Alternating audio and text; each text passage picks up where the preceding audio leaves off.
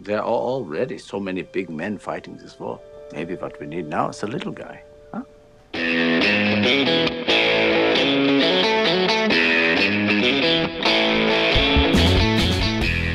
Hello and welcome once again to the Cine-Files, where each week we enter the world of a great film. We explore its themes, the history, the filmmaking, and the influence it has on us today.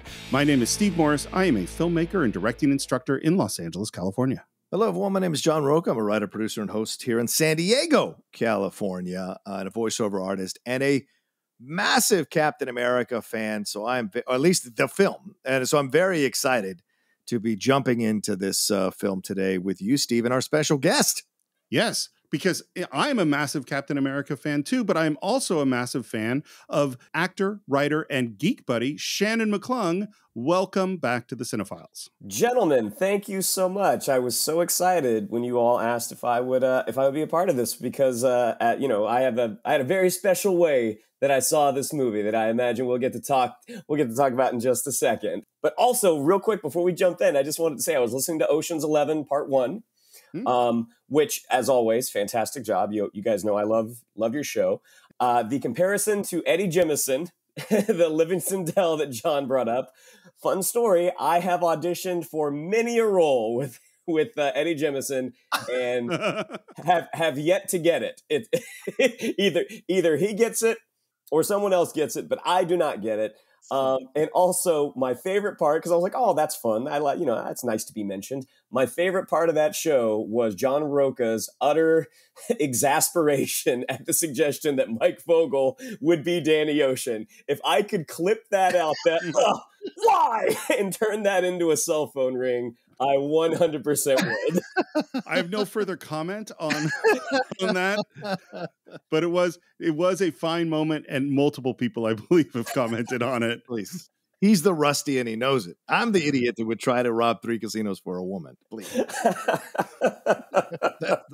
I'm just happy he's to be great, small. He's a great organizer. Don't get me wrong, but yeah, he, he is very good at planning things. Yes. So. Uh. Um, but this is not the Ocean's Eleven Mike Vogel podcast. This is, in fact, the Captain America: The First Avenger podcast, and it is our very first since Iron Man of the MCU that we're giving the full Cine-Files treatment. And I think this movie absolutely deserves it. Agreed. Agreed. This is one of the, I was saying to this in our preview for the show and recorded it. Um, I think this is the actual beginning of the MCU in my mind. Like Iron Man, Hulk, those are kind of the preparatory Thor, Thor. It's kind of getting the, the pieces in place. But this is where I think it starts to expand because of the Tesseract, because of Red Skull, because of the time jump, because of everything involved in it. And so I've always kind of unofficially in my mind felt that it was the start of the MCU. You know what? I actually agree with you, John, because everyone, uh, it, it's a popular theory that the MCU does not exist the way we know it without the casting of Robert Downey Jr. as Tony Stark, which there's a lot of there's a lot out there that supports that. But I think maybe if not as important, but just slightly below is the casting of Chris Evans yeah. as Captain America. I mean, one looking at what his filmography was prior to prior to him being Cap, um, but also you know you discovered that this wisecracking actor has just this this soulful depth with his portrayal of Steve Rogers. I don't think the MCU works out as well as it does without Chris Evans as Captain America. Yeah, Steve, and this is something we've talked about on the show before when it comes to casting. Certainly, you know, with uh, being married to Karen, you're very acutely aware of casting and the importance of it. I mean, these are casting coups that you cannot deny, Steve, right? I mean, Robert Downey Jr. coming out of really kind of untouchable at the, around that point, just slowly working his way back in to the public consciousness and insurance companies taking a chance on him a little bit.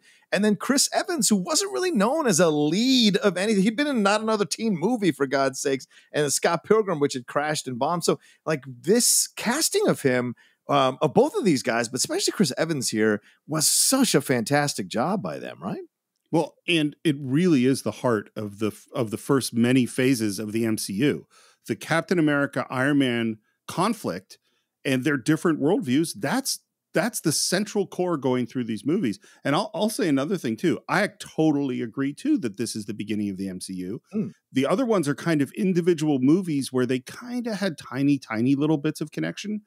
I think the choice to call it Captain America the first Avenger Right. makes it the there's that's a weird title.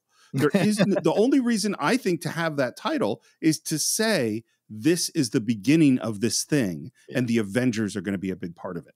Yeah, especially when you consider that Captain Marvel is actually officially the- first Avenger in in terms of creating the Avengers themselves for the Avengers Initiative. Uh, but Captain America, Mm. of course, being older than her, uh, kind of Yes. qualifies more so. Um, you guys have hinted at it, but I don't know the story. How Shannon did you first come to this film? Okay, so this would have started in Comic Con 2010. So this was Yes. a year before Captain America came out. John and I had a tradition um, that we would be in Hall H all day on Saturday, which um, it is always so much fun and it's a blast, but it's also a Herculean effort Oh because if the panels start at 10 or 11 at the time we were probably getting in line around six in the morning Yeah. maybe maybe before um, hall h in the san diego uh, convention center holds about 6500 7000 people and you would be shocked at how quickly the line to get in to Hall H would form. Now they've developed systems with wristbands, and you show up at a certain point the night before. Um, at the time, like they didn't have that. So John and I got to the convention center to get in line around 6 a.m. Marvel because it was still even then it was it was the, how they closed out the show. You know, you have to get through panel after panel after panel like seven eight hours of panels Yes. to get to to get to marvel and this was their first big year because this is where they brought out kenneth branagh and chris hemsworth um I, and I can't remember. I think that's the year that they introduced the Avengers cast. That's where Jeremy Renner was introduced Mm. was introduced as Clint Barton and was uh, uh, Mark Ruffalo was introduced as Bruce Banner. But in between, they brought out Joe Johnston, Chris Evans, and Hugo Weaving, and uh, they had only been shooting for a few weeks at that point, and they had actually cut together a little bit of footage and. It was, I think it was uh, the scene at the beginning where um, Hydra comes into Norway. Like that's that Mm. was the scene that they showed us. But as Chris Evans walks out on stage, I mean, one, the guy's he's a movie star, but also he's always been in good shape. He was huge. Yeah, I mean, there are giant screens all over the convention center because again, it's it's seven thousand people. Um, so there's giant screens, and you could see the buttons on his shirt were struggling to stay attached because the dude was so yoked. Um, but then flash forward a year later for Comic Con, they were having screenings of Captain America, and me and my me and my buddy John Rocha, we got to attend one of those screenings, and that was one of the best. Like we talk about great Comic Con experiences, and certainly Scott Pilgrim versus the World, that screening is is way up there. legendary. Steve, you should have been there. So- Just the greatest. It'll never end. but John and I during the day, I can't, I don't remember what day it was, but it was during the day. But was we got to Friday or go. Saturday?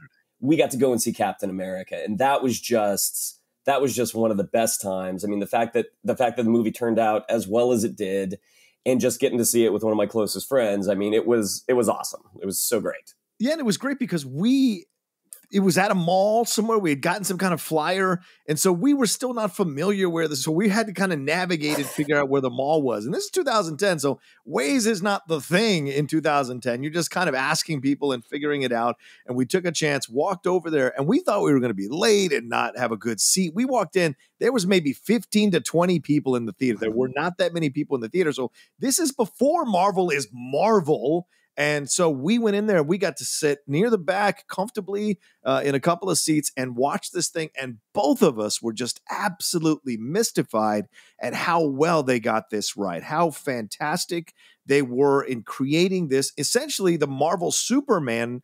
Uh, and doing it so well when we'd heard over and over again how Superman can't be done now. Nobody wants a goody two shoes character. Nobody wants this or that. And you saw that they were able to do it the sweetness, the heart, the vulnerability, the honesty throughout the film, and the first great love story in the MCU. You can take your Pepper Potts and Stark and go somewhere else with that. Peggy Carter and uh, and uh, Steve Rogers is the first real romance of the MCU, and I would argue still the greatest in the MCU. And this uh, film showed you why. You know, I, I I agree with all of that. And for me, this is where, so this is 2011, which is the year my son was born.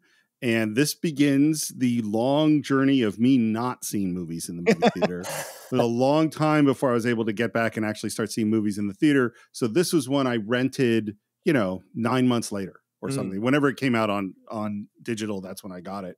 Um, and but had the same experience of just like, wow, they they get it. They figured out how to do this thing.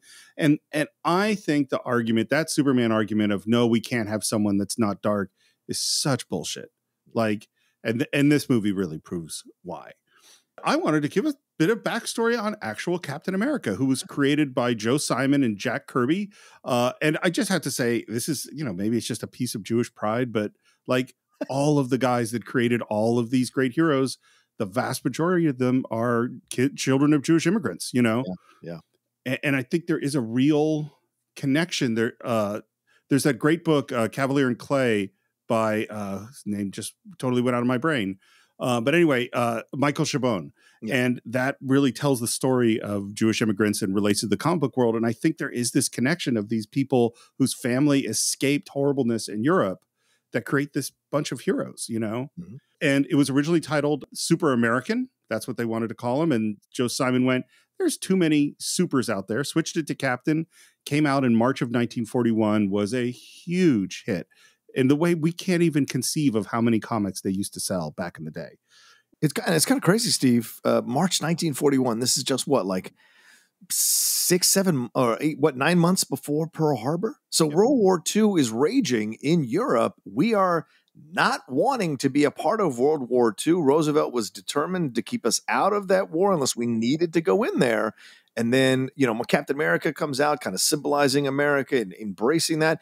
And then the timing of it to have Pearl Harbor happen and have this fervor of patriotism nine months later, I think, uh, you know, indirectly, I'm sure, helped to elevate this character even more so and bring more of a seriousness approach to that character to make it symbolize America during a time of war.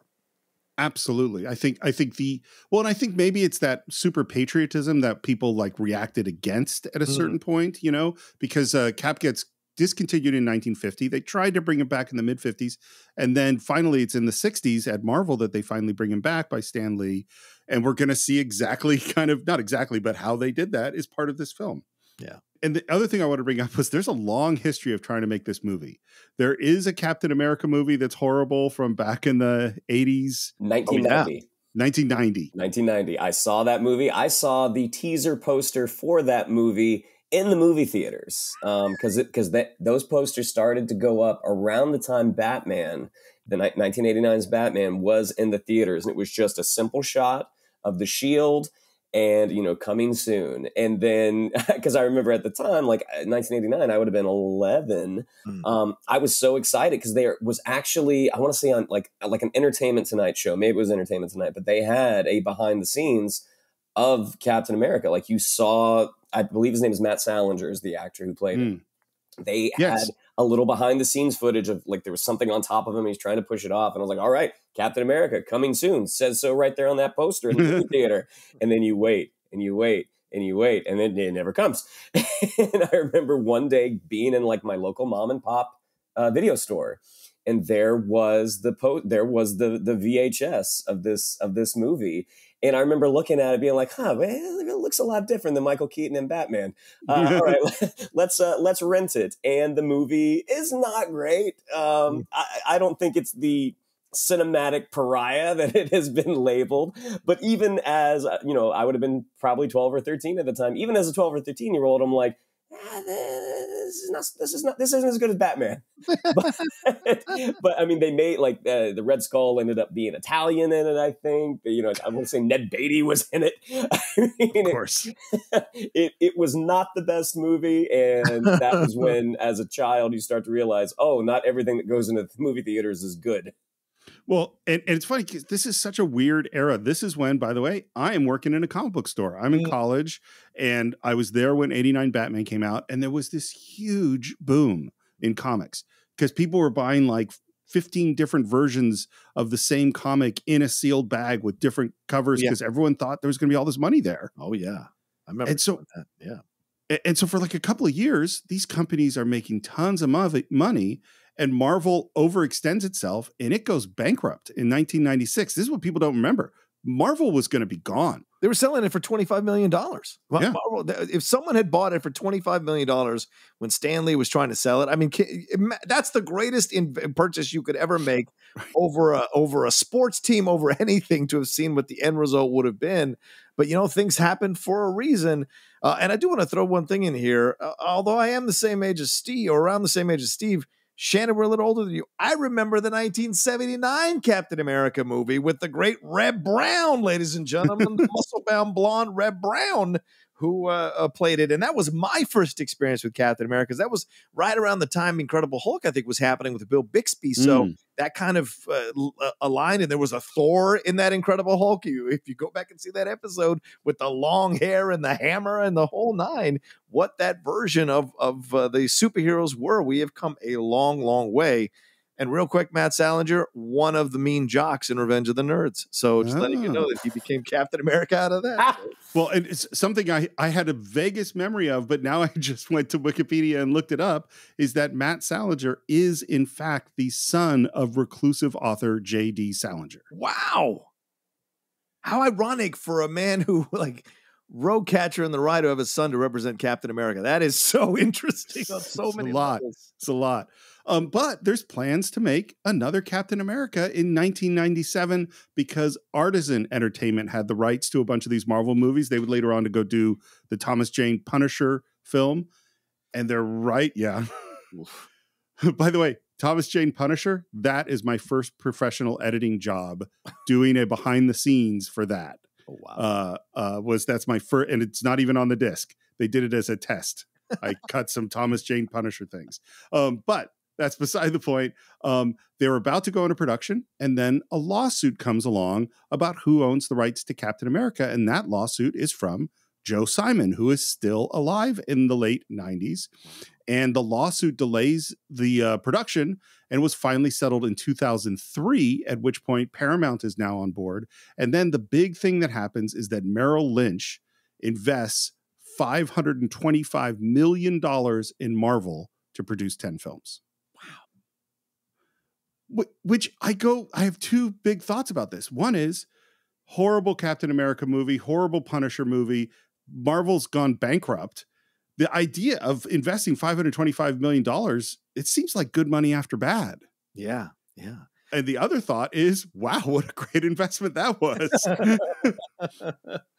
yeah, you want to bash Merrill Lynch, go ahead, but we wouldn't have Marvel without it. So it's just yeah. kind of crazy to think about how these uh, tentacles are with, and having seen these uh, shows recently, like We Crash, these other things. I mean, getting people to invest in your company is massive and not an easy thing to do. So clearly, they must have seen something. There must have been one incredible pitch in the room to get them to put that much money down for Marvel.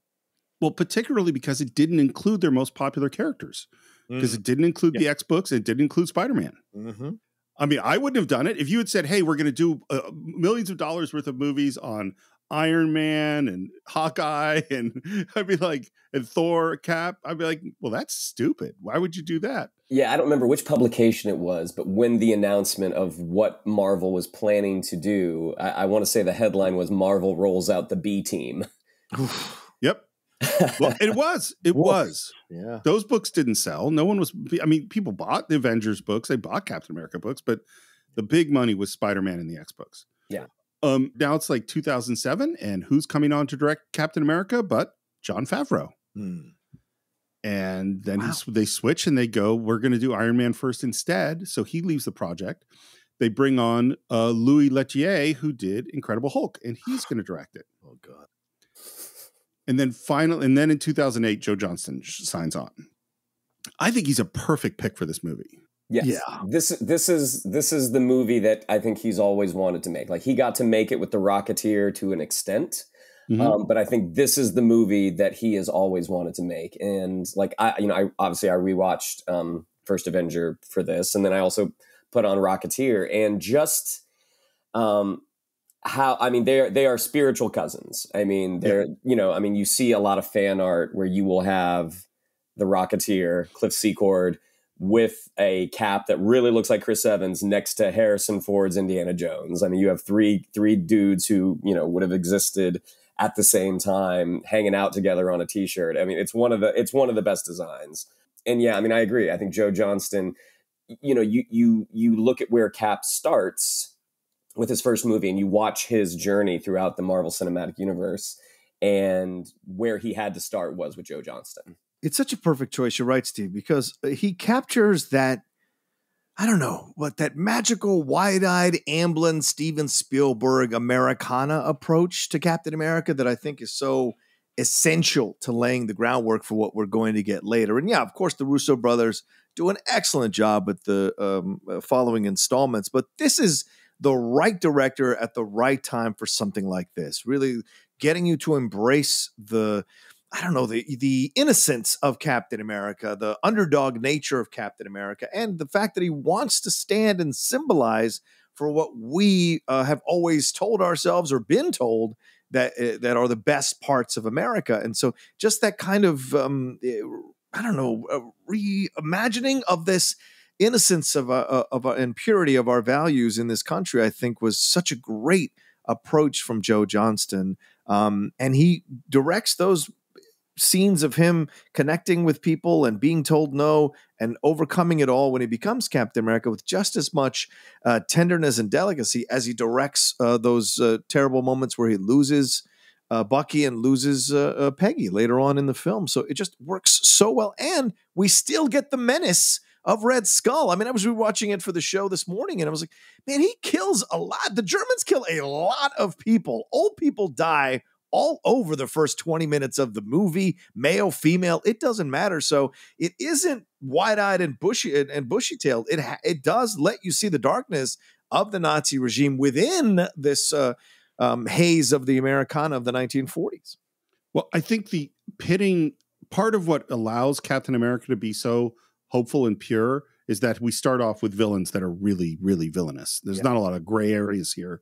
The other thing, by the way, the other reason film that I think is a film that people overlook. Uh, that is a Joe Johnston film that I think that innocence and that hope. Can I take a guess? Really, Can I take a guess? Is it October yes. Sky? October Sky is yeah, such a good film. movie. Uh, there were a lot of different versions of this script. It ended up being Christopher Markus and Stephen McFeely who did it, but there was versions where the Submariner was in there. There was versions where it was much more in the modern day. There was all sorts of debate about how best to handle this. They finally started to lock it down, uh, and then Joss Whedon came in and did a final rewrite, which apparently a part of his deal to do the Avengers was he had the right to do a rewrite on Captain America.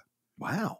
Yeah, yeah. I think I re- I think I read uh, an interview with him where he was talking about it that the story was really in place. Like it was a really it was a really tight, well told, well paced story, he just wanted to have the opportunity to go in and do some character stuff. So the Steve that we meet in First Avenger is going to be the same guy as the Steve we meet in the Avengers. Mm-hmm. Yeah, makes sense.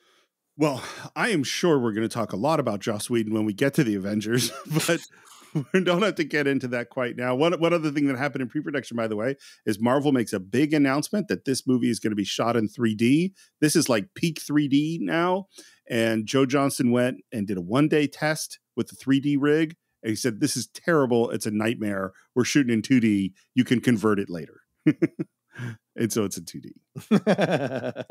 um, shall we get into the film? Let's do it. Yes. Uh, we start with those iconic Marvel pages turning, and we hear wind and snow, and we're somewhere in the snow. At first, I go, Well, this is the South Pole or something, but of course, it's actually the North Pole and we see headlights coming and guys working. And it's so weird because after a few seconds, you go, This is not in the past. You know what I mean? Mm-hmm. Like, this is modern day. I thought I was going to see a period piece. How long before we can start craning it out? I don't think you quite understand. You guys are going to need one hell of a crane. Steve, you can't resist the um connections to Superman here, right? To Man of Steel. I mean, there's a ship stuck in the snow. Mm a guy out of time. Just it's just interesting, you know. Right when I was rewatching it this time, because obviously this is what three years or five years ahead of Man of Steel. It's kind of interesting to see the projectile sticking out of the snow, and mm. the guy's like, "You're gonna need a bigger crane," that kind of thing, which I love. But we don't net we don't see these guys necessarily as like Shield or anything like that. Um, and then we have that moment where they see the actual shield and say, "Wake up!" Uh, was it the senator or the chairman? It's three no, a.m. Yeah, I don't care. Oh, Colonel, right. I don't care. It's 3 a.m. Wake him up, you know, because he's going to want to see this. This guy's been Um, eh, this guy, well, whatever. It's been too long or whatever. This one's waited long enough. This one's waited long enough. Yeah, it, rewatching it, like I, I did have that same thought, John. Like, why why wasn't this Phil Coulson? Like, why didn't they Yeah. make Phil Coulson one of these guys who shows up? And it's like, well, whatever this crew was doing, you know, up in the North Pole, you know, there would have been no reason for Shield to get involved at this point because they're like, you know, whatever they're drilling for. You know, there was nothing out of the ordinary until they find this thing that's like, oh, this doesn't belong. So it would have gone up. It would have gone up mm-hmm. sort of the chain of command, and Shield wouldn't necessarily have known about it. Even though I thought it would have been a cool place to I see wish- Phil Coulson. I wish it was Coulson, and because they said these are guys from Washington, we know that a call went to Washington and some people came down. So I totally wish it was Coulson, but I also think this moment, particularly if you're a comic book fan and you know that Cap had been frozen in ice, there's this moment where I'm watching and I see there, that the guy has seen something, and I go, "Oh shit, I know what it is." Yeah. And that's the kind of fan service that I think is great. If you know something, you get an extra little thrill. And if you don't know something, it still all totally works. And then we go back to Tonsberg, Norway, 1942. Uh, this is apparently the first day of shooting. We're in some old castle kind of place. We hear gunfire. And they're sort of like, no, no, they'll never find it. And then the big wall completely collapses, crushing one of the guys. And then, among the world's coolest cars of all time, pulls into the space. Shannon, my guess is you love that car. Uh yes, there you know there was a script that I wrote with my old writing partner many years ago, which John and Steve have written. And when I think of what that like, because there's a, I tried to put in an iconic automobile as well. When I think of that car, I, I look at the more heroic version of that car that Hugo Weaving is driving because it is just six wheels, exhaust pipes on the side of the engine. That is just the coolest designed. It's it's the past with with a with a bend um, which is something I think that Marvel does really well, is taking the reality or the history that we know and putting a slight twist to it to make it kind of out of this world. Right, right. The car is 25 feet long. As you say, it has six wheels. It's designed by Daniel Simon, who designed all the vehicles in Tron Legacy, which, Hmm. regardless of what you think about that movie, John, I think you like it much more than I do. Yeah. It looks amazing. oh yeah. It is a gorgeous film. It's based on uh, the Mercedes 540K and the G4, which I had to go look up pictures of these cars. These are some beautiful old cars. And we see some boots walking. And you, and again, you give your bad guy a good entrance. And man, Johannes Schmidt, Hugo Weaving, the Red Skull has a great entrance here. Yeah. Yeah. you just he you know he's backlit, like you see his subordinates out there trying to open this you know this sarcophagus. You know you you can sense there's a lot of urgency. I mean they're the ones that busted in. They're not afraid of the Tower Keeper, who was played by the great da- David Bradley from who plays Mr. Filch in the Harry Potter films. He's Mm. also uh, Lord Greyjoy from Game of Thrones. They are not concerned about that old guy at all. They're concerned about the thing that's behind them. And then when you when you hear the entrance of Hugo Weaving and that turn and that that silhouette, that just class, he's got that long black leather coat, just this classic silhouette, uh, just fantastic. I think it's so funny the roles that Hugo Weaving has played. And there's sometimes I see him where you, you can kind of feel like he's getting a paycheck, you know? I think he's his performance as Johann Schmidt is fantastic. Oh yeah.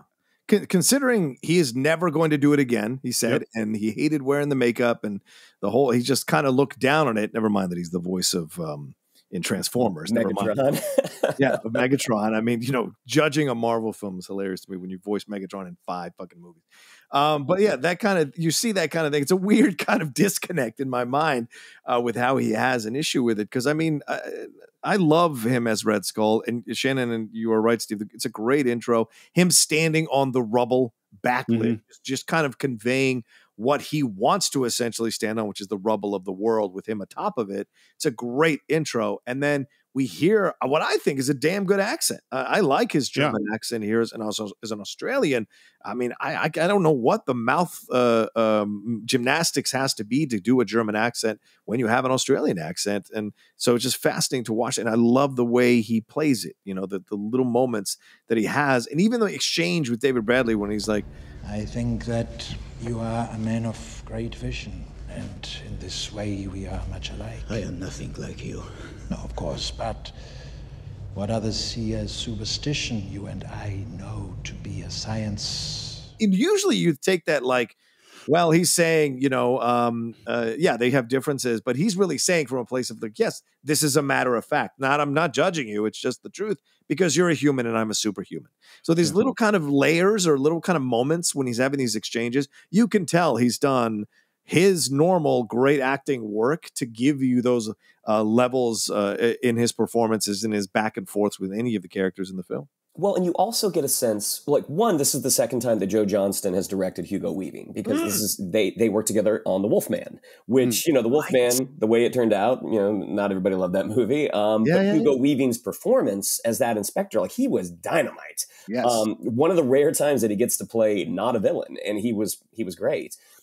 But also, there is from the moment, like there is a charm to his Johann Schmidt, yeah. but there's also you can tell there is a lack of redemption. Like this is a black and white world, and this guy very much is the villain. And you also, I love too that there's they handle it in a subtle way that we'd seen these guys trying to pull this big stone lid off a sarcophagus or something, and then Hugo Weaving comes up and just pushes it off. And I think if you're not paying that much attention, you might just kind of go, wait, what? Is he strong? I don't get it. But if, of course, if you're a comic book fan, you go, ah, yeah. and he reaches in and pulls out this box. The Tesseract was the jewel of Odin's treasure room. But the box that doesn't look all that special, and he drops it and it shatters. It's not something one buries. Is close, yes. You know, this is the the old guy was the guy who said they're not going to find it. They never they've come before, they're never going to find it. Right. Johann Schmidt turns, looks at this kind of, you know, relief on the wall that has a snake, goes right to the eye, pushes it, and suddenly this wall opens, and there he pulls out this box. In terms of hiding places, maybe don't hide the real one right next to the fake one. But also, I mean, of course, no one's been. And by the way, this is the oldest city in Norway. It's considered the oldest Mm. city in Norway. I think it was in the ninth century. Um, so it's been around a long time. So that's a logical place to put the Tesseract. Plus, you're always connecting it to Thor, Norse mythology. All of that is there.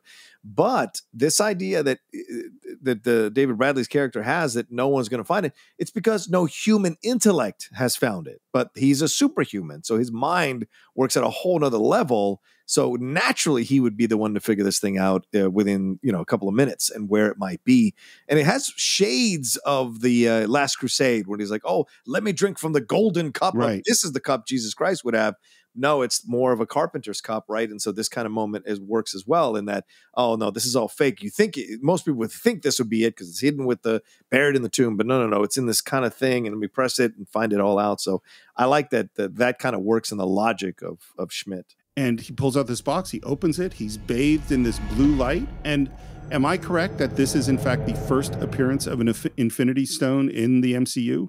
yeah, well, a first a first real appearance. Like Yeah. we see in the background of Thor, the first Thor. You see the Mm. you see the the Infinity Gauntlet, but we find out in Thor Ragnarok that that was a fake. Ah, ah. Um, I love this line, by the way. There's lightning going on behind, and as he's looking at this blue light, he says,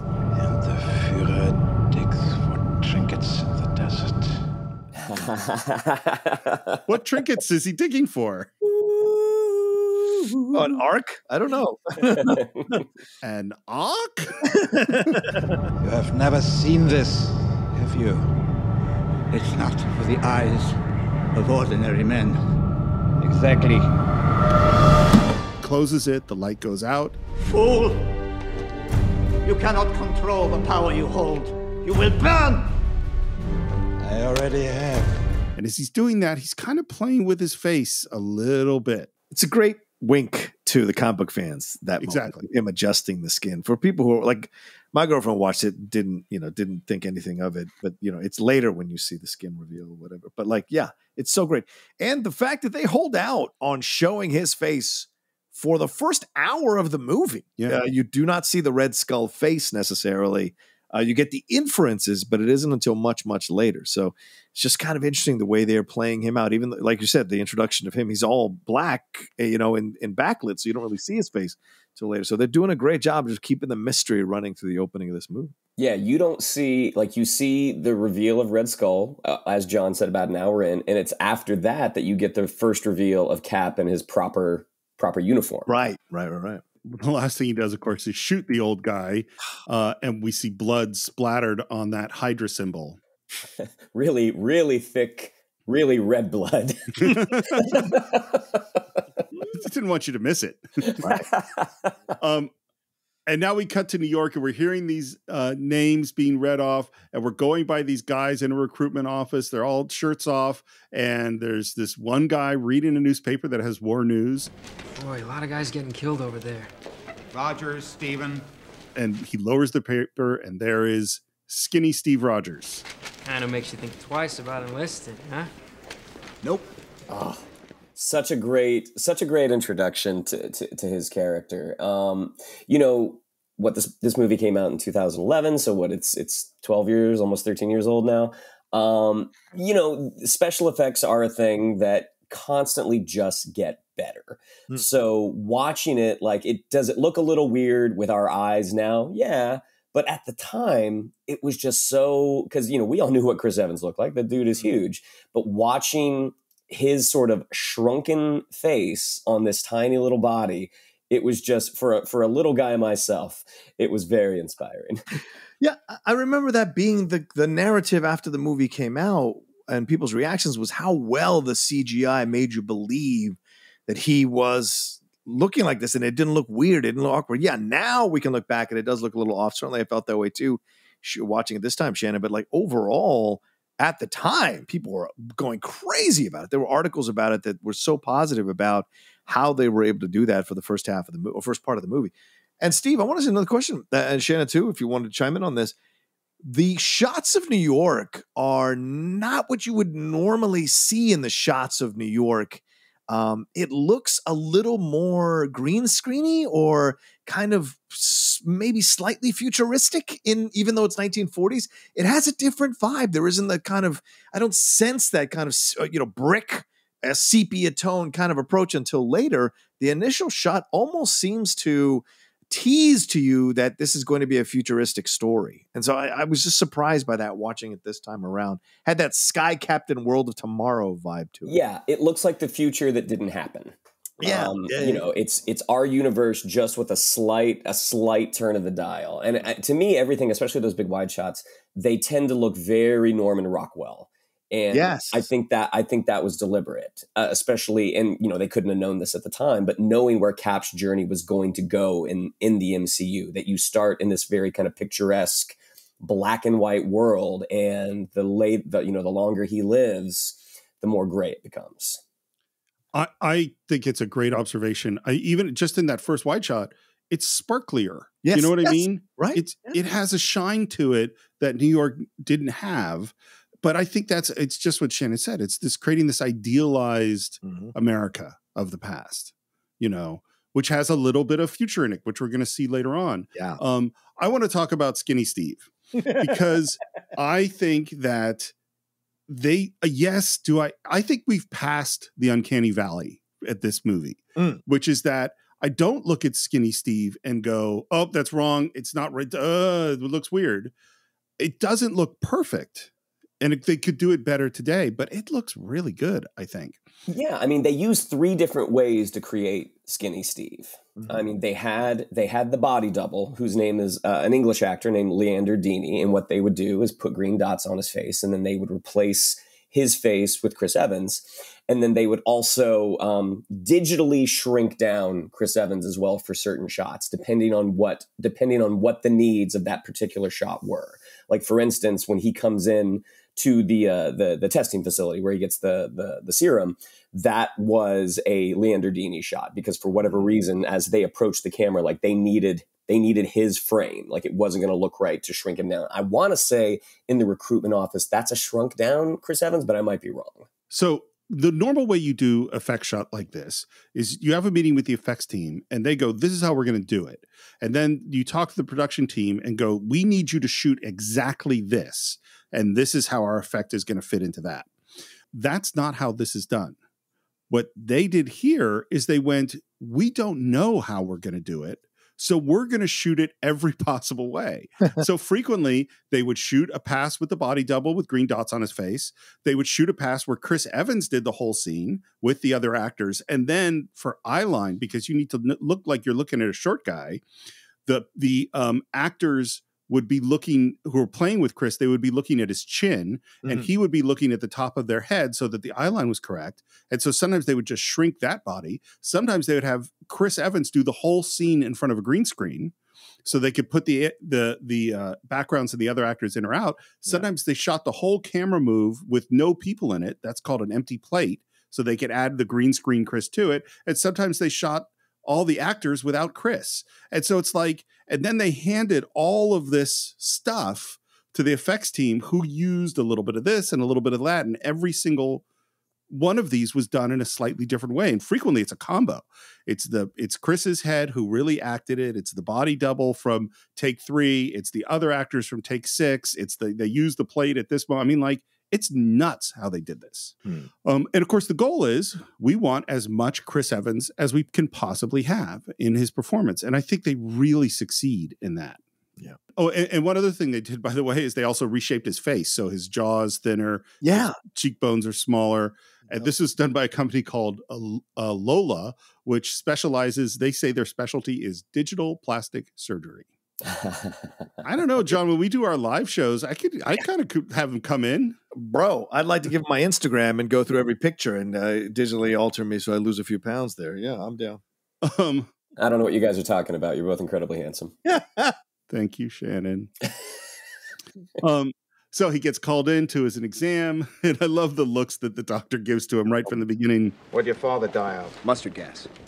He was in the 107th Infantry. I was hoping I could be assigned. Your there. mother? She was a nurse in a TB ward. Got hit. Couldn't shake it. What I like about this is both of his parents sacrificed their lives to a greater good. Yeah, so there's a there's a uh, you know like people talk about what was that what was that film where they saw the different generation? Oh, Forrest Gump, right? With uh, Dan watching the different generation. Oh, yeah. all dying in the different wars. this is this is kind of similar. I love that sequence, but this is kind of similar, right? Because you have the mom and the dad dying. And you know what struck me this time around? How everyone goes crazy. It was like I say, I want to say this because I don't get crazy. People get upset at me, but well, whatever. I don't care. Um, the, people go, uh, people get all nuts about Wanda. You know, oh, she suffered this trauma. She lost her brother. She lost her family, and she lost her. Captain America has lost arguably just about as many people as Wanda has and didn't go that route. You know, lost hi- her parent, his parents, loses Bucky for his for a uh, what he thinks is forever, loses Peggy, loses seventy years of his life, um, and goes through all this, and you know, loses so many people uh, throughout, loses Tony, and so there are so many losses that he suffers.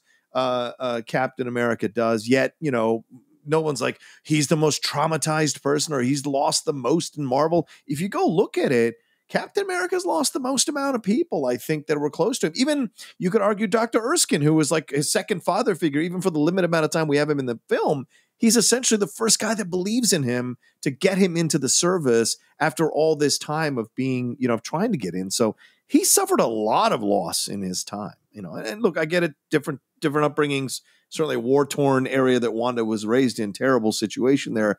But still, you argue that, you know, Captain America's lost just as much, if not more people than Wanda.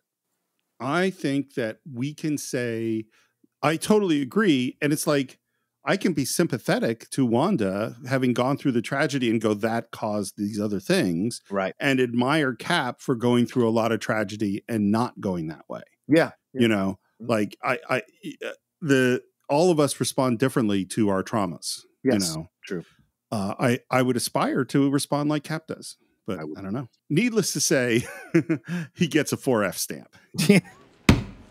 Which uh, during the marketing of this, when that when he gets the 4F in the marketing in the trailers, it says rejected because they did not think that oh. audiences they're like in a trailer like they're not going to necessarily know what 4F means. So we really have hmm. to hammer home that this is a rejection. That's interesting. That makes sense, actually. And we cut to a newsreel where Steve is watching, and we're hearing all about the the war effort, about volunteers going off to Europe, bodies coming back. And in the theater, we hear a guy start to heckle the newsreel. Play the movie already. Who knew that even back in the 40s there would be assholes talking in movie theaters? To start the cartoon! Hey, you want to shut up? And we see this big guy turn around, and then we have a hard cut to Steve getting punched. Which the the casting of this guy, he really looks like Gilmore Hodge that, he, hmm, that Yeah. Steve ends up training with later. But you you, you get Steve just he keeps getting back up. Like he he gets Yeah. hit, he gets punched, he falls, he keeps getting back up. At one point he grabs the top of a trash can. He has a trash can lid that we, you know, we get the first sense of him holding a shield. Yeah. And we get the classic line, which again, we were pretty sure it was going to be used throughout the movie. Who knew it was going to be used all the way to even movies today? You just don't know when to give up, do you? I can do this all day. Well, and I think that is the key to Steve Rogers. I mean, it's, you know, this, I could do this all day. The guy, no matter what the consequences, who isn't going to quit. That's why we love Captain America.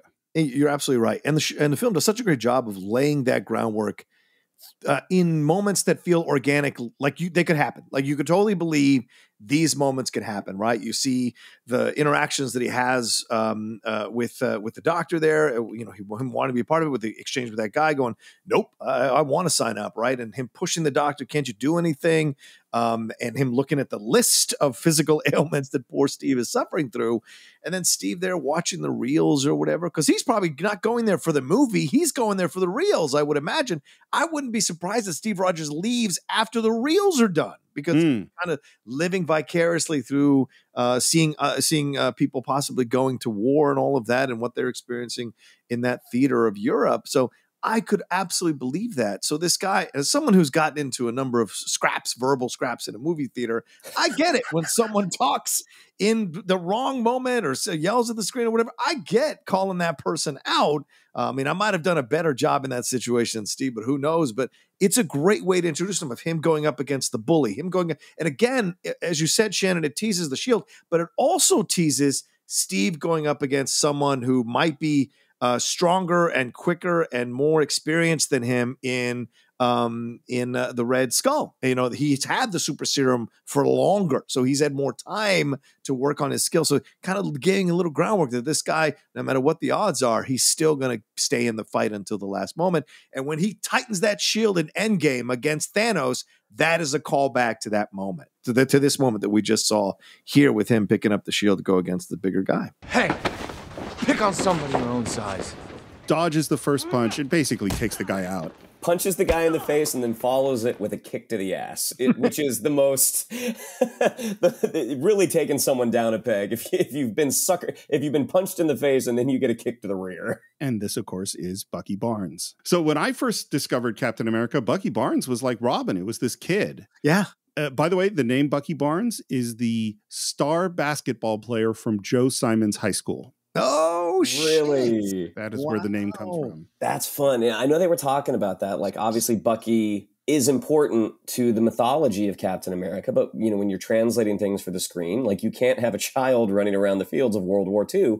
So to basically age him up and make him not just his best friend, but basically he's sort of the alpha in Yeah. that relationship. Yeah. I think it's a great choice. And having my Captain America knowledge really ended in the 90s. So I didn't I didn't know anything about the Winter Soldier or any of that stuff. So I had no idea that Bucky Barnes was going to be this thing Hmm. that became really important later on.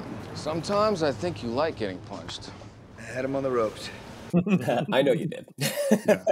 And immediately the, the relationship is so clear, so fast. How many times is this? Oh, you're from Paramus now. You know it's illegal to lie on the enlistment form. And, and, and by the way, Bucky Barnes is in the 107th, which is what Steve Rogers, it's the unit he wanted to be in. And he's shipping out tomorrow. Come on, man. Why last night? Gotta get you cleaned up. Why? Where we going? Future.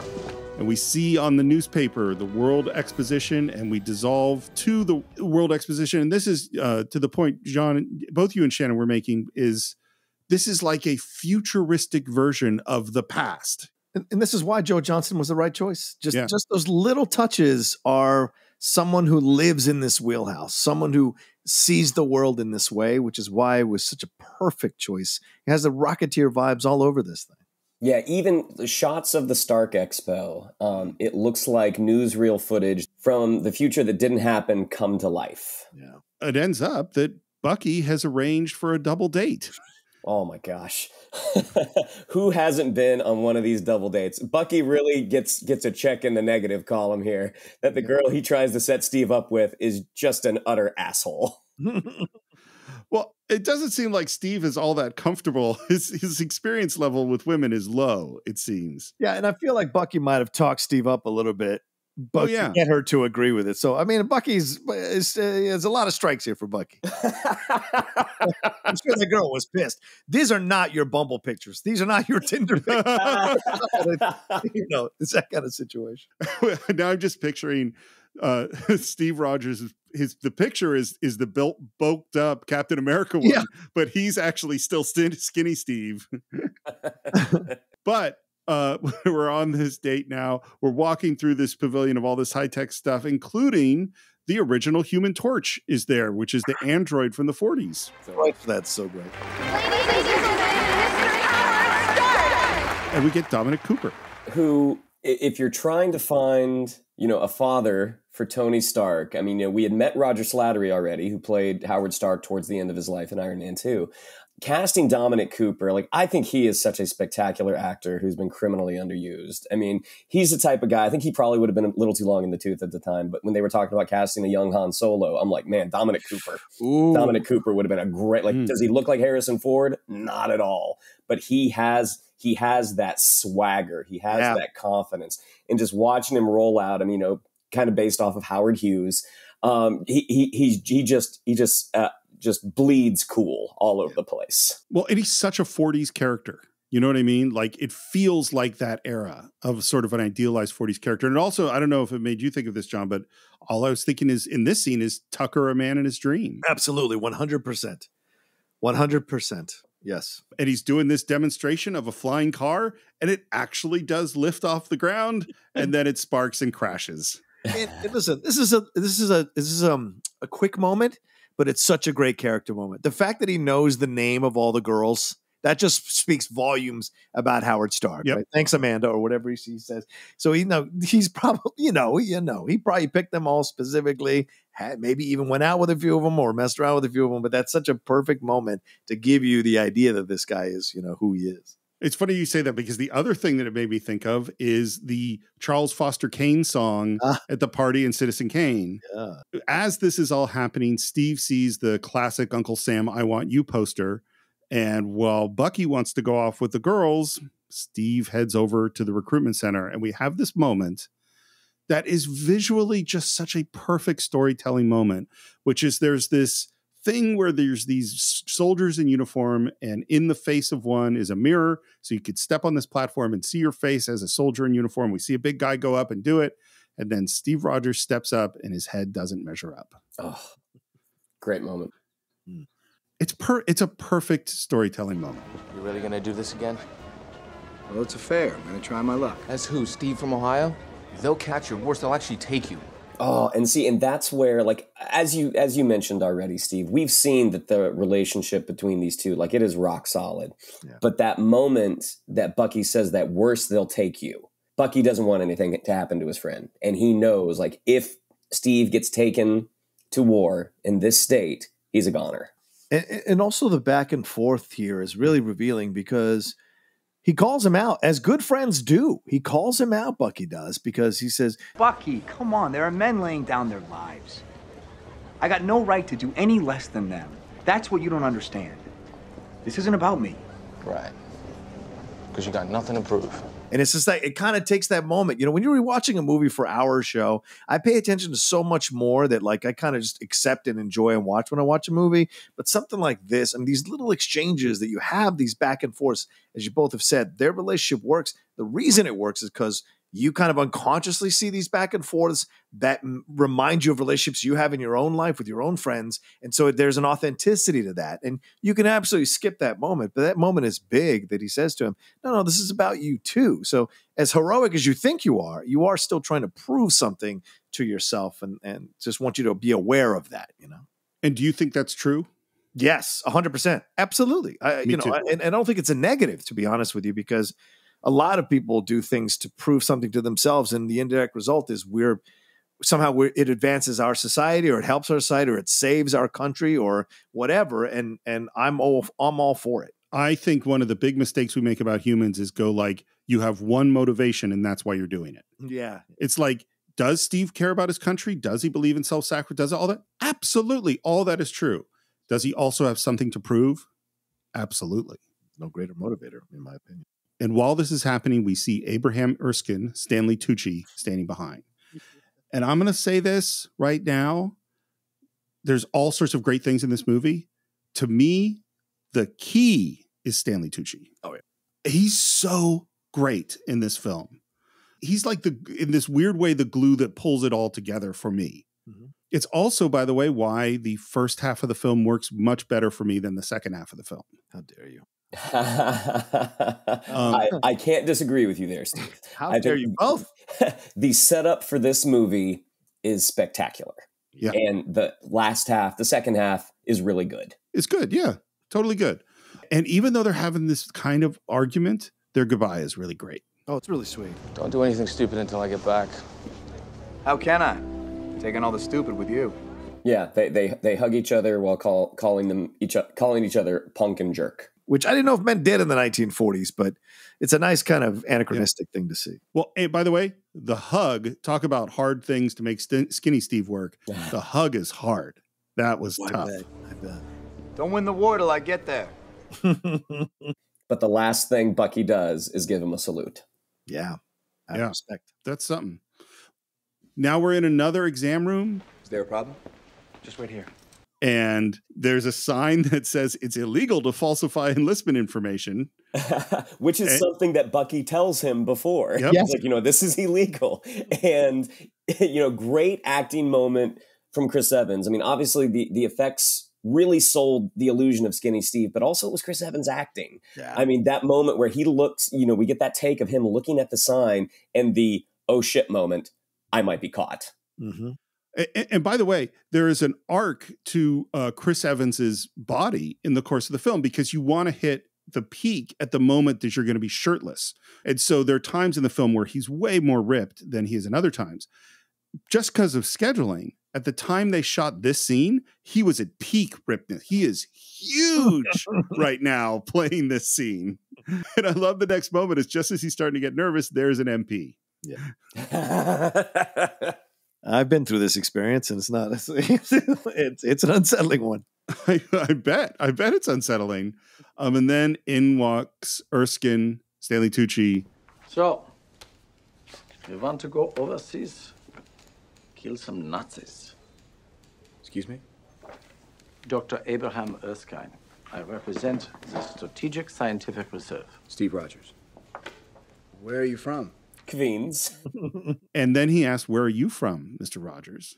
And it's clear that he knows he's been applying to multiple places. Yeah, yeah, because he said, "Oh, that's the wrong file or whatever," and and he says, "No, no, I just need to know where you're from because it's I don't care about any of that stuff." And then he says, "He says Brooklyn." But you didn't answer my question. Do you want to kill Nazis? Yeah, you get a great Stanley Tucci moment when Steve asks, Is this a test? Is this a test? Yes. I don't want to kill anyone. I don't like bullies. I don't care where they're from. Another yet another great window into this guy's heart and what he why he wants to do the things that he's doing. Well, there are already so many big men fighting this war. Maybe what we need now is a little guy. Huh? Damn right. And there's just a great reaction from Chris Evans. And this is it's the heart of the film. Mhm. You know, just this idea like, oh wait, I might actually have a chance. I can offer you a chance. Only a chance. I'll take it. Good. So where is the little guy from? Actually. Brooklyn. Congratulations, soldier. We look down at that folder, and instead of a 4F, there is a 1A. We cut to our bad guy's snowy hideout in the mountains. um, every every bad guy has one. yeah. And we are going to meet Arnim Zola, Dr. Zola, played by Toby Jones. Which what a cool way to introduce that character. with a magnified image of his face on a screen because for comic book readers you know that arnim zola uh, eventually his his consciousness gets placed in a giant in a giant body and you see his tiny little face on a screen in his chest and we're setting up for some kind of scientific experiment we don't know if the equipment is going to stand up to the energy from this cube by the way there's so much back and forth that makes very little sense in all of this where like first Schmidt is asking, Are you sure your things can handle it? And he goes, I don't know if it can handle it. And then we turn it on, we go to 20, 40, 60%, stabilize at 70%. And now the guy who a minute before was going, Can your machines handle this? And we hear, I don't know if he can handle goes, I have not come all this way for safety, Doctor. And he turns it up to full. and all sorts of lightning explosions and sparks go around. This will change the war. Dr. Zola, this will change the world. So your basic bad guy scene, I think. yeah, and not, not a lot of depth. Yeah, to these guys. Uh, Steve and a bunch of recruits are all lined up, and we get to meet Agent Carter, Hayley Atwell. Oh, be still my beating heart. My goodness. She's all, you know, I know I said that Stanley Tucci, I think, is the glue. She's so good in this movie. She's excellent. And really, this was sort of her introduction to American audiences. And like, who knew? Like, obviously, she's she was wonderful in this movie. Who knew that over 10 years later, she was still going to be playing this character who was only supposed to be in one movie? Yeah. It shows you the power of her performance for sure. Yep. Totally, 100%. Um, and she walks up and immediately one of the recruits, the big guy, Gilmore Hodges, is giving her some crap. Must be the accent, Queen Victoria. Thought I was signing up for the U.S. Army. She has him step forward. Hmm, you gonna wrestle? Because I got a few moves I know you'll like. And she punches him in the face and knocks him down. it's a good intro. Great intro, followed by another great intro. I don't know. I have very mixed feelings about Tommy Lee Jones. Oh, this is going to be fun. Okay. Oh, he's oh, fire. I love Tommy Lee Jones. Okay. I just don't feel like his character quite tracks for me. Okay. General Patton has said that wars are fought with weapons, but they are won by men. We are going to win this war because we have the best men. And at that moment, he sees Steve. as we kind of have a montage of the training, we hear stuff about the Strategic Science Reserve. But every army starts with one man. Roger! At the end of this week, we will choose that man. How's Steve doing on these obstacle courses and training exercises? He's not quitting. He's not quitting. Yeah, but he's not doing well either, though. So I mean, I mean, let's be real. You know, I mean, like he was him falling off the rope uh, uh, ladder there. Him and I, I know what's his face kind of kicks out the thing to put him in the the barbed wire, but Shannon's right. He's not quitting, but he's not doing well. So um, th- those things can hold back a whole uh, platoon. So uh, there is legitimate concern, I think, on Tommy Lee Jones' side about this situation. Absolutely, totally. Um, they're running. Steve is way, way behind. Peggy is watching. They stop at this flagpole. That flag means we're only at the halfway point. First man to bring it to me gets a ride back with Agent Carter. And the mob of recruits all try to climb this flagpole. They all fall down. Nobody's got that flag in 17 years. Steve Rogers walks up, grabs the peg that supports the flagpole, it falls down and he grabs the flag. I've never seen a flagpole designed like this, but I'm sure glad that's the one they use at that base.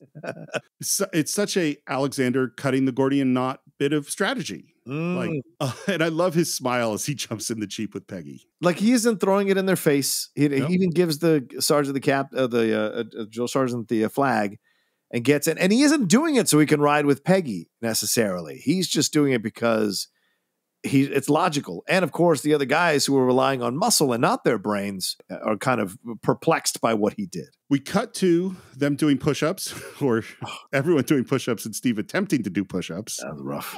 You're not really thinking about picking Rogers, are you? I wasn't just thinking about it. It's a clear choice. When you brought a 90-pound asthmatic onto my army base, I let it slide. I thought, what the hell? Maybe it'd be useful to you, like a gerbil. Stick a needle in that kid's arm, it's gonna go right through him. Come on, go. He's got the guy it should be is Hodges, which is the guy that was sort of picking on Agent Carter before. Hodge passed every test we gave him. He's big, he's fast, he obeys orders, he's a soldier. He's a bully. You don't win wars with niceness, Doctor. You win wars with guts. And Phillips pulls out a grenade, tosses it right into the crowd, yells, Grenade!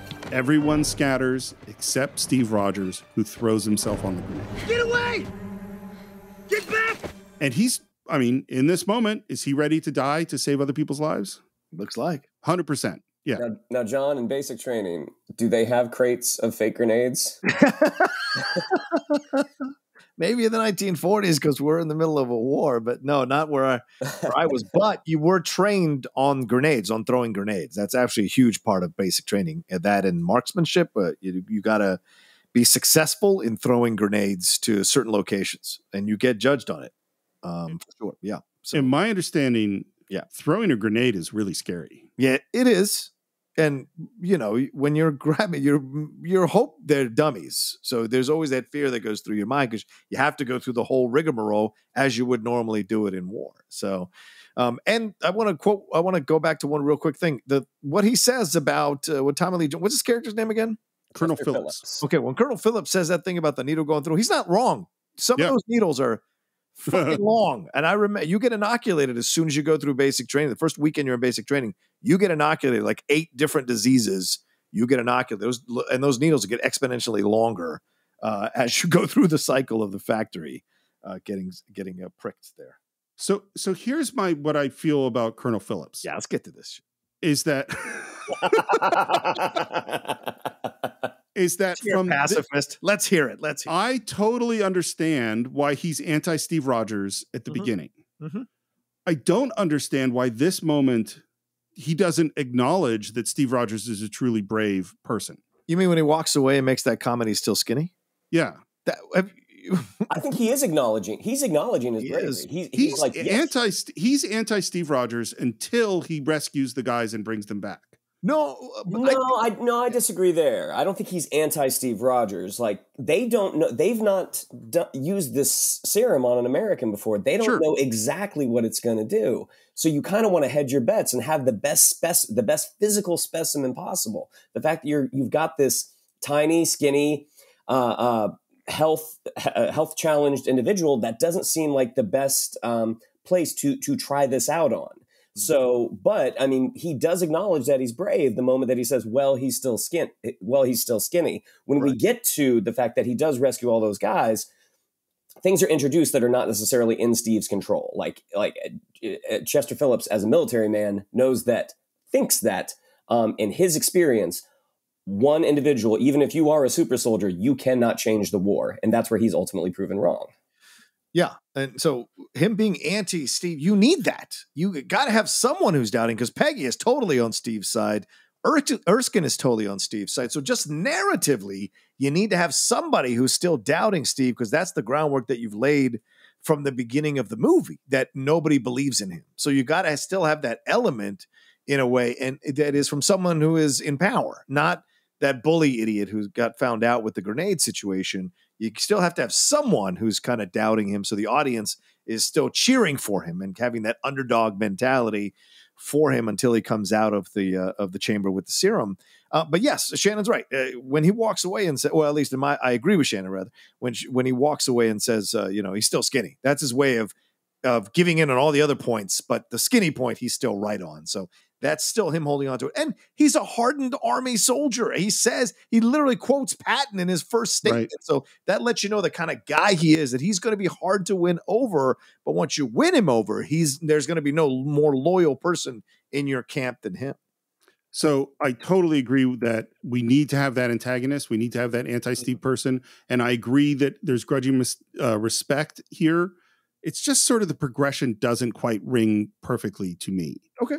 Like for the first half of the movie, Phillips is more of a jerk, like not a great guy, rather than a great guy that needs convincing. I see, I don't think he Interesting. I don't see him as a jerk as all. Yeah, at all. I know these guys in the military. The they're, they're that way, so you are trained to be strong in moments of war. They're that way because they cannot let you see their vulnerability. But when they do, it's well earned. But they have to be this way because they're training people. I I mean, mean, I'm fine Sir- with him being tough as a trainer. Okay, it seems like you're not because you're saying he's a dick. He's being tough. No, I'm saying that from this point forward, he should have respect for Steve Rogers, which he doesn't really show. Well, no, he might he might respect his courage, but he would still be even. You can be as brave as you want, but on the battlefield, if you're not an asset to any sort of Absolutely, offensive, I agree. You're, Let- you're, let- you're a let's- let's- detriment.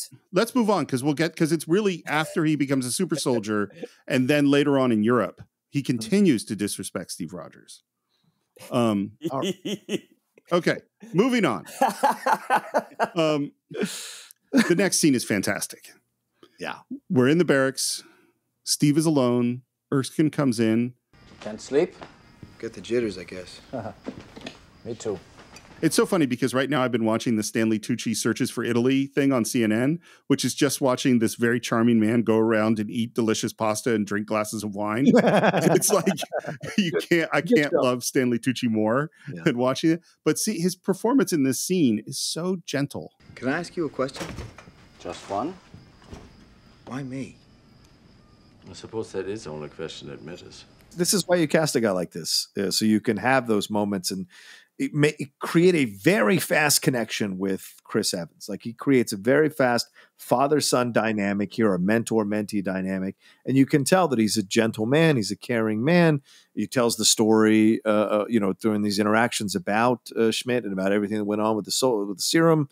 Um, but I always find it quizzical this scene because Steve wanted to be in this position and he feels he deserves it. Like he feels like he, you know, he's got a lot of heart and he's got a lot to give. So, I, why is he questioning uh, Erskine about why me? Like it just seems odd to me that he would do that, considering he's been so desperate to prove that he does belong, that he is just as good as any other soldier. Why would he ask him why me? It seems a bit incongruent for me this moment, but it leads to a great exchange for sure. I just don't 100 percent believe Steve would be like, well, why me? I mean, for me, if you've been rejected over and over and over and over again your entire life, and everyone telling you you're weak, you're no, you know, you, you can't compete, all this. Someone picks you for the team all of a sudden, I can see having that reaction. But you believe you you you should have been picked for the team the whole time. That's the question. That he isn't a guy who's like he isn't Michael Cera in Arrested Development walking away all the time with the head down because Right. he knows he's a loser. He actually believes he's a winner. It's just no one wants to give him a shot to show that. So I think there's the difference. So to it's, me, it it's you know it's that moment of being called up to the big leagues like you think you think you're ready but until you're Mm. actually in that position that's when self-doubt can start to creep in especially because when he's picked there's a lot there's a good amount of time for him to reflect on everything that has come before this moment and be like oh man am i ready am i the guy Yeah, I guess I would have liked to have seen that a little bit more because it just seemed to come out of the blue that question. Because with Rocky, I get it because Rocky didn't want to be the world champion. You know, Rocky is like when he has those questions near the end of the film before the fight, that's logical. But with like, why'd you pick me? Why me? You know. But with this, uh, it just seems odd because he wanted to be in this position and and took it. You know, so I don't know. But I hear your points. It just seemed odd to me. I'll say this, like, and and I think maybe this this analogy will will ring a, a little clearer. Like, I think I'm a pretty good actor. Mm-hmm. Anytime I book a job and I'm in a trailer before I get called to set, I think, oh no, this is the day. that right. I'm about to be found out. And Every, you know, Daniel Day Lewis said that, but every actor feels this way. Yeah. but but I think that's the th- I think that's the feeling for Steve is this is the first time he's ever been kind of grant been granted this this opportunity. And so this is that this is the first time he gets to reflect on that self-doubt. I I guess I would have liked to have seen maybe a couple of scenes where he's failing at these things and he's really starting to question himself. I think it would have been that would have gi- given a little more background to uh, understand why he's asking this question of Erskine. We see him fail, but we don't see Steve go, I can't do this, or I'm not, this is harder than I thought, or what am I to like? We don't see him question himself. And so if we'd seen maybe one or two of those moments, I think it would have added a little more weight to him asking this question of Erskine. So just my I think that's a great point. I really because because and it's the trade off between I can do this all day, the guy who is just never going to quit. Yeah, yeah. Giving him a moment where he's trying to climb that, you know, the rope wall, you know, the wall, and he falls, and just giving him that one moment where he looks up and sees the other guys way ahead. Yeah. that that might that would have helped support like, wait, what am I doing? I Right. can't do this. Because there's no interactions with him and Hodges. No. Except for him kicking the barbed wire. There's no actual verbal interactions with Hodges, you know, where Hodges goes, What are you doing here, punk? You don't deserve to be here, blah, blah, blah. So it's just interesting. Erskine has an amazing line in this scene uh, where he says, So many people forget that the first country the Nazis invaded was their own. Great line. That's a great line. Mm-hmm. It's familiar. And then we hear what happened to him and that he was the scientist and he got brought on along with Schmidt because he could is developing this super soldier serum and he doesn't want to do it for them. He doesn't want to do it for Schmidt.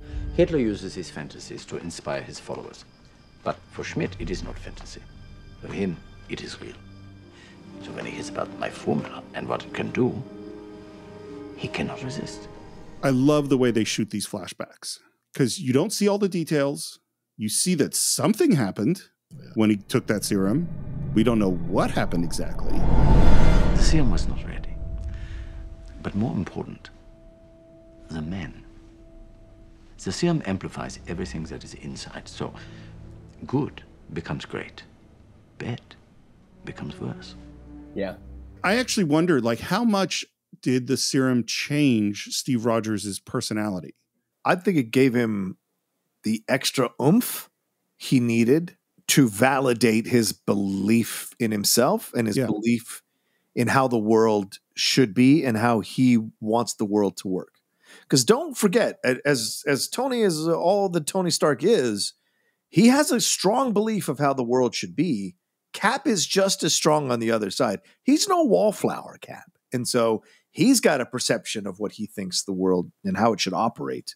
Um, and I think that's what the serum did, and of course augmented all his natural uh, hero heroic instincts, but also gave him that strength to back up the things that he's talking about. Right. Totally agree. It allowed him to be the person he thought he could be. This is why you were chosen. Because a strong man who has known power all his life may lose respect for that power. But a weak man knows the value of strength and knows compassion. I love that even Steve Rogers needs to have that person in his corner. Like you mentioned Rocky before. Yeah. Who's Rocky without Mickey? And when, when we hear, you know, Mickey loves you, like all of us need that at certain points in our life. That's a huge thing. Whatever happens tomorrow, you must promise me one thing that you will stay who you are. Not a perfect soldier, but a good man. When he calls him a good man and he kind of points at his heart, he touches his chest. Hmm. That's such that that moment lands so hard because you feel like you know you've had that moment with a teacher, with a coach, with Yeah. a parent, like that moment where they're like, you know, you you can do this. I want to say something real quick, and maybe you'll cut this out, Steve. But um, at the most recent CinemaCon, I ran into my friend Sean O'Connell, who runs Cinema Blend. He pulled me aside and he said, "I just wanted to let you know, man. I've been watching all your stuff for the last year, and I'm so happy with how you're doing. And keep going. You're doing good stuff. You're building something good." And when he said that to me, that meant so much to me because I am so in the pits on myself constantly with the stuff I do on the channel and and our stuff. I'm always constantly in the pits of trying to do stuff and hoping it turns out right and wondering if people are going to watch and all this kind of shit. So when someone who's been doing it for a while and has a successful website that people turn to in the industry says to you, "You're doing great work," and means it, he's not bullshitting you or just giving you some compliment. He's he means it. He pulls you aside to tell you that. It means the world. And so um, I kind of flash back to that moment when I was watching the scene this morning. Uh, and so, you know, but yeah, you can cut that out. I just wanted to share that. with Nope. Nope. Not cut out. Not going to be cut out. To the little guys. No, no, wait, wait. What I am doing? No, you have a procedure tomorrow. No fluids. All right, we'll drink it after. No, I don't have a procedure tomorrow. Drink it after. I drink it now. great character moments. Uh, great character moments. I Great. wonder if Tucci had any influence on the back and forth and the writing of these of these scenes because they're so natural. It just feels like something he would naturally say or do. He, he, the, he he's such a fascinating person, you know, Mhm. having But- directed one really good movie, Yeah, but Big then Night? not, yeah, Big Night, but then not directed a lot. I, I have a comment for you guys, and I wonder what you think about this. And it may have been because I saw Pinocchio, the trailer this morning, did a reaction to it. Do you guys think he is like Geppetto? And Captain America is is uh, Steve Rogers is going from you know like uh, a wooden puppet into a real boy. He's essentially becoming that thing he's always wanted to be from the beginning, which is a soldier but also a hero. And I wonder if him having that kind of older with the glasses, there's this kind of Geppetto Pinocchio situation because Geppetto was also giving Pinocchio lessons on how to be a real boy uh, throughout the movie. So it just kind of struck me, and I wonder if I'm off base on that. No, you're not. You're not going to believe this, but about when we started talking about this section, I legit had the same thought. John. that that that Stanley Tucci very much has a Geppetto vibe here, Oh. and giving that serum to Steve turns him into the real boy. Yeah. So here's my thought process. When you first said Geppetto, I went, no, come on. And literally in the next second, I went, yes. that is 100% exactly right. That's great. Um, and the accent doesn't hurt either. Yeah, true. Very good point. We're back at the at the evil lab, and I love that we see for just a few frames the Red Skull who's getting his portrait done before he switches the lights off. It's like the the t- you just can almost barely see that there's something weird there, but it's not long enough to see what it was. I Understand you found him. See for yourself. Toby Jones's Arnim Zola is such a fascinating character because he's a villain. Like he's he, he's a bad guy. Um, but you can see like w- w- his motivation be like, well, why are you going after him? Like what? Like of course this isn't going to work. It's not. You know. You know. He's not going to succeed. Dot dot dot. Again, I mean, trying like like implying that you know Johann Schmidt's taking the serum didn't work because it turned him into this sort of grotesque individual. But you know it- it's really interesting to kind of find his to find his point of view on this because he is a bad guy but why doesn't he feel the need to go after erskine Zola's a really interesting character. I think he is mostly amoral. I think he just wants to build his things. Interesting But also, you can tell he's one of those guys that, yeah, you're right, Steve. He is going to say what he needs to say because the overall accomp- he's not caught up in the ego or the submissive dominant situation. To him, it's more about who do I need to be with so that I can finish my research or finish my projects or create the things I, I want to create here. So I'm sure I've mentioned many times on the Cine-Files my absolute love for Tom Lehrer, who's the great comedic singer from the 60s who did all sorts of interesting political songs. One of his songs that makes me think of Zola is about Wernher von Braun. And one of the lines in it is he says, Once the rockets are up, who cares where they come down? That's not my department, says Wernher von Braun. Tom Lehrer the best. i was also going to point out the uh, the actor who's playing the painter. I mean the moment that schmidt turns the light back on as toby jones is exiting you see the anguish on this poor painter's face being like god i don't want to do this but i gotta pay rent. I, I, well, or he's Jewish, and he's like because a lot of Nazis, right, used Jewish people to entertain them, to play music, to do all kinds of things. So I wouldn't be surprised if this artist was Jewish as well. Yeah, I don't know that this artist lives out the day once he's done with his painting. Uh, and the, the important piece of information we get here is that we found Erskine, we know about the super soldier serum, and there have been orders given to take care of it. Before we left the scene, I want to talk about this. The opera that is being played here, I think, is really important. Dr. Zola. It's uh, Wagner's Der Ring des Nibelungen. I I apologize to any German people if I mispronounce that. What do you think? But Wagner was anti Semitic. And so this is something that's a big deal. Masterpiece. And this particular opera, I think, is about a ring or try, so trying to get some kind of power uh, and what it does to people when they get that power, right?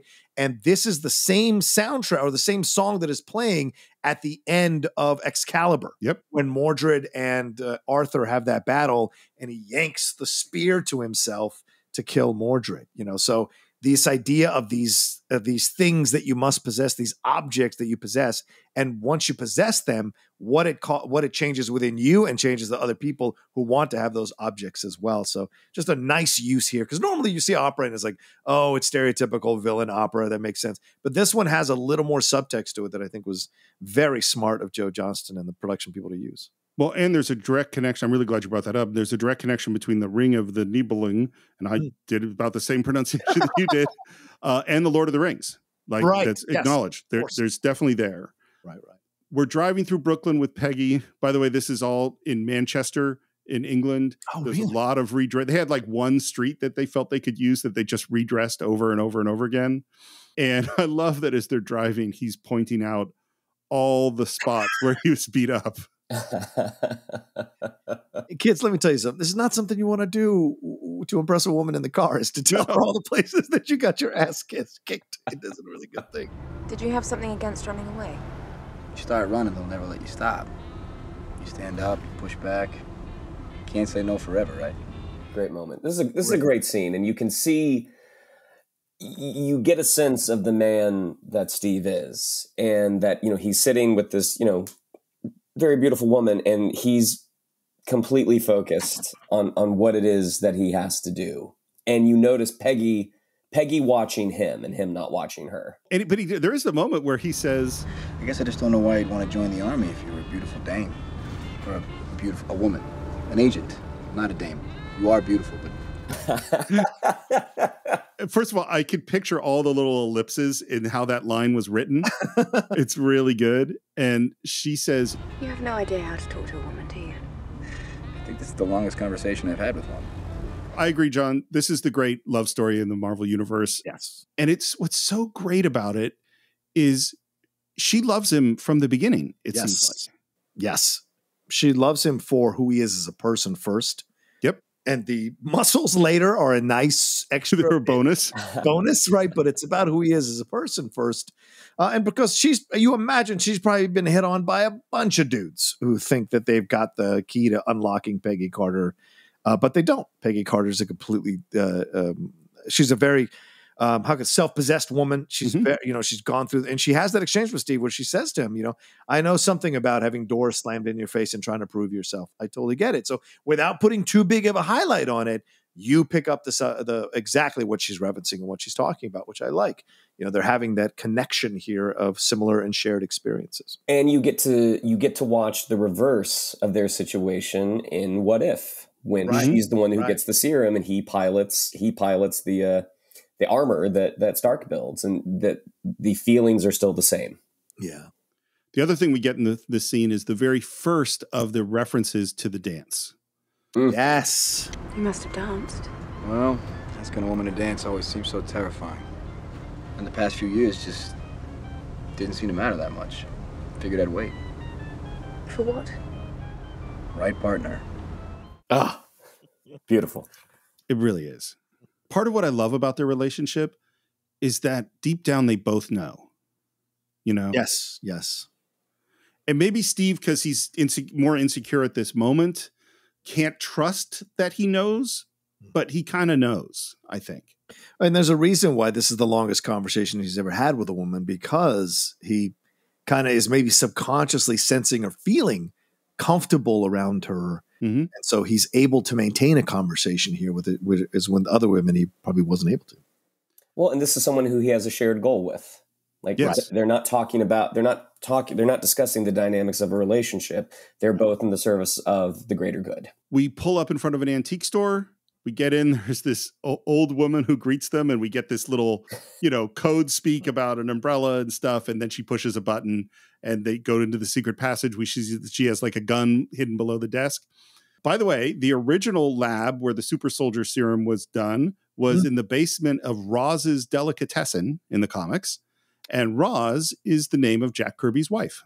Oh, that's awesome. So we go down through the MPs into this hallway, and this is, I think, the shot that you mentioned before, Shannon, where he walks into the lab and the camera pushes in on him, and we see this space, and in the middle of this space is this Iron Maiden looking thing. Senator Brandt, glad you can make it.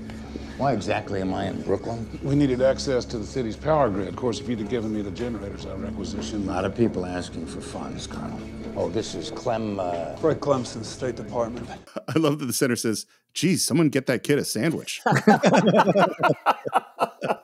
Uh, and his companion is Richard Armitage, uh, who may not uh, people may not know the lead the lead in The Hobbit. Uh, they're Oh. aside from Martin Freeman, the the lead dwarf. Thorin Oakenshield. Yeah, Thorin Oakenshield. Yeah. Wow. I would never have known. Yeah, unrecognizable. We begin with a series of micro injections into the subject's major muscle groups.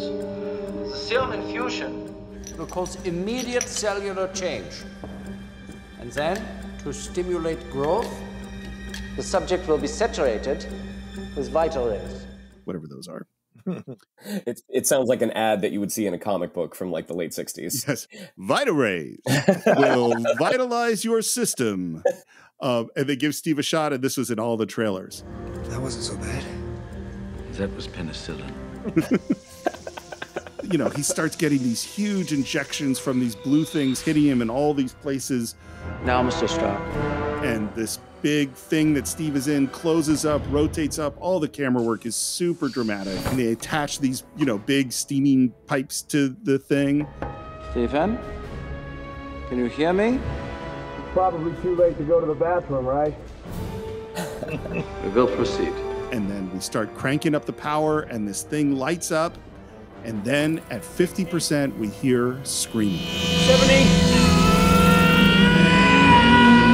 By the way, they pause at 70%, which is exactly where Zola paused at 70% before Schmidt made him go up to 100%. Everyone rushes to shut it down. Yeah, and I want to say Peggy's the first one to say Yeah. to shut it down. No!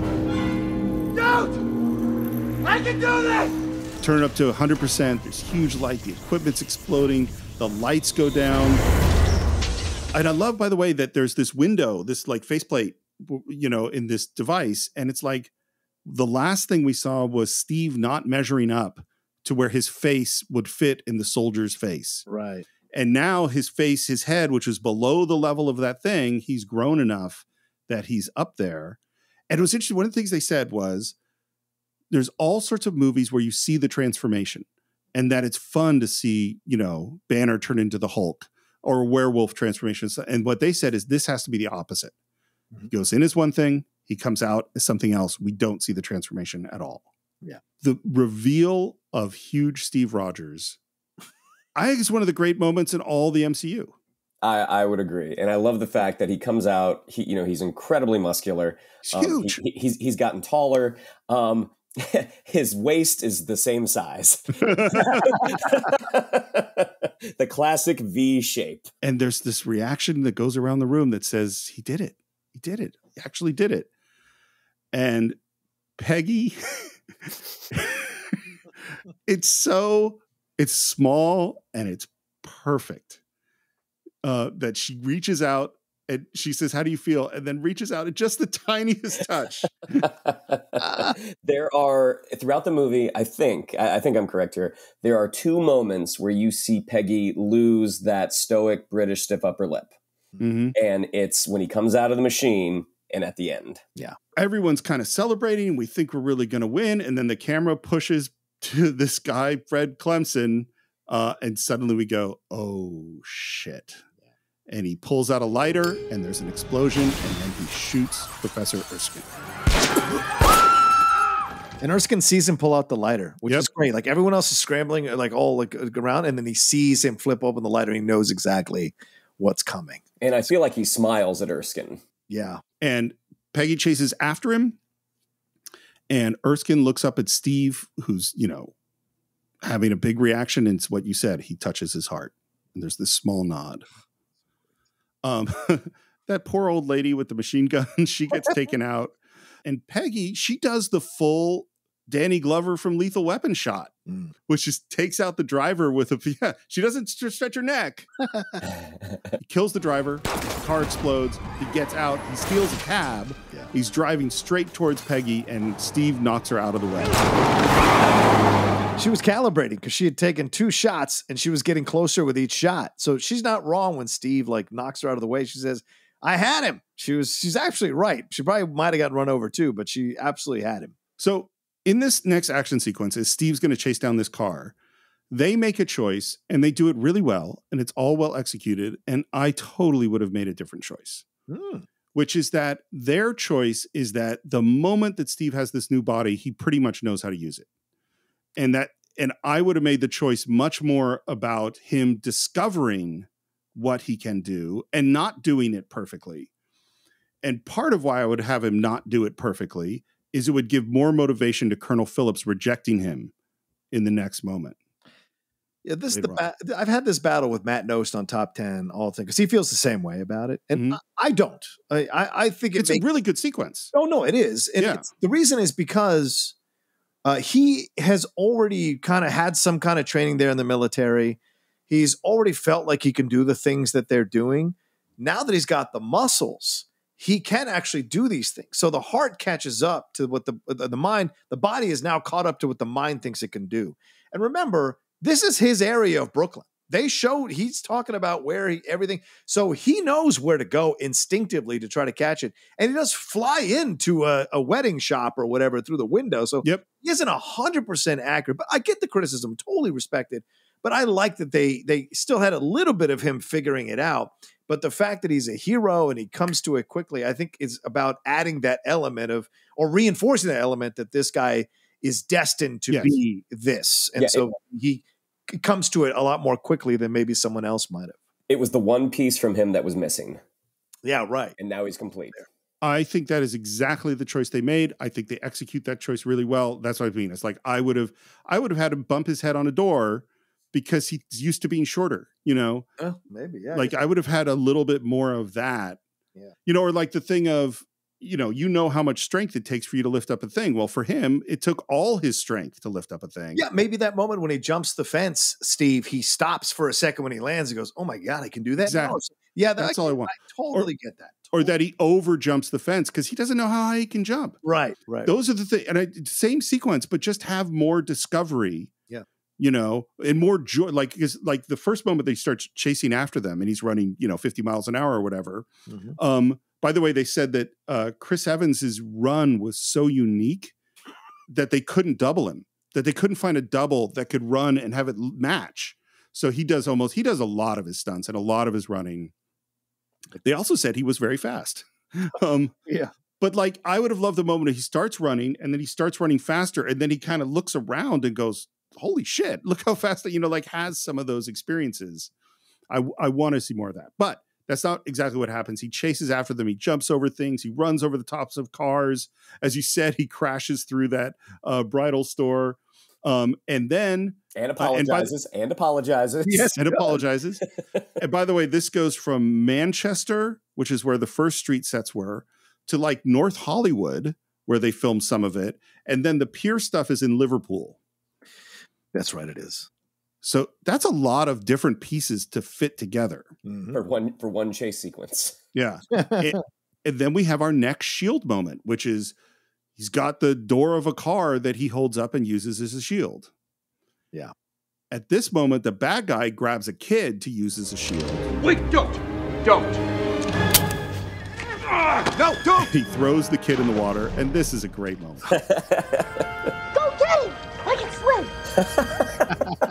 and then, much like the super cool looking car design, now we see the super cool looking sub design. Yeah, hmm. little one person mini sub. And again, yeah, and they do a great job of sort of period touches, but also with this high tech style. And Steve, as the sub starts to pull away without hesitation, dives into the water, swims up to the sub, punches through the dome, and pulls the guy to the surface. So, a pretty badass first showing for Captain America. Agreed. And we see as he throws this guy on the ground, a vial of blue liquid shatters, which is the last of the super soldier suit. Who the hell are you? The first of many. Cut off one head. And this guy bites down on his teeth, and you already know what's going to happen. Two more shall take its place. And he foams at the mouth Hail Hydra! and dies. And it's really at this moment that Steve first actually looks down at himself and realizes what's happened to him. Um, by the way, I like I said, I love Erskine. He's a great character. Dude, write down your research. Well, that was the only way to keep it safe and to keep it secure was to have it in his head. That was the only Mm. place someone couldn't go to break it out. Okay. I mean, doesn't well- seem like a good plan to me. Look, hindsight is twenty twenty in this situation. 1940, Steve, you know. Look, the Coca-Cola formula is is very secret, supposedly, Mhm. but apparently there are four people who know it, not just one. Same thing with KFC. You're right about that. Those damn thirteen spices. Is is it cumin? Which is it? What is the 13th spice? I've gotten. I've nailed eleven of them. Two more and I'll have it. Zola. What are the last two spices, Zola? Uh man, if only the Red Skull had put his his energies towards something constructive like that. Red Skull fried chicken. I like this. I would totally buy it. RSFC. Come and get some legs or some wings here. So breasts are the best. well, and I think that since A, we've actually Captain America, Steve Rogers has become Captain America, and B, I feel as if our conversation is starting to degrade. Zola, bring me some pockets. I want the chicken. No biscuits. um, this would be a good time to end part one of, of our explanation of Captain America: The First Avenger. Of, of course, we'd love to hear what you think. Do you feel that Popeye's fried chicken is in fact superior to Kentucky Fried Chicken? Would you rather have a Chick Fil A sandwich? Oh. Maybe church is your thing. I'm actually a fan of Bojangles. Bojangles, delicious. dude, Maybe this is something for Cane's? These are things that you need to figure out, and we'd love to hear your fried chicken comments on our Facebook page. Do a search for the Cine-Files. You can also discuss fried foods on Twitter at Cine underscore files. You can take pictures of fried foods and post them on Instagram at the Cine-Files Podcast. You can contact me at SR Morris on Twitter, SR Morris1 on Instagram. I will be eating fried chicken while I get ready for my next podcast recording for Enterprise Incidents for Star Trek. John, how would people find you? You can always find me at the Rook says on Twitter, Instagram, and TikTok. And yes, probably having some three piece uh, Popeyes chicken, as I do prefer Popeyes chicken. Um, uh, and uh, you can follow me uh, on Twitch, The Outlaw Nation, on my YouTube channel, youtube.com slash John Rocha says, and my other podcasts, which our guest is a part of, the Geek Buddies, uh, the uh, and the top 10. Um, and Shannon, where will you be eating fried chicken in the near future? Oh my gosh, I have a costume fitting in two days. I can't have fried food right now. I would love to have something fried and delicious, but no, right now I'm I'm having greens and grilled grilled meat. Um, but you, you know you can you can uh, uh, tweet pictures at me showing me what you've had at Shannon underscore McClung or on Instagram at Shannon the Geek Buddy. And you, as John said, you can catch me every week on the Geek Buddies. Actually, twice a week right now because we're doing our reviews of Obi Wan Kenobi on Disney Plus. And also, if you go to Netflix right now, you can see a little show that I got to write on called Strawberry Shortcake Berry in the Big City. And I think that is it for this week. We will be back next week with another delicious fried food and the conclusion of Captain America, the First Avenger, right here on the Chicken Files, the Cine-Files.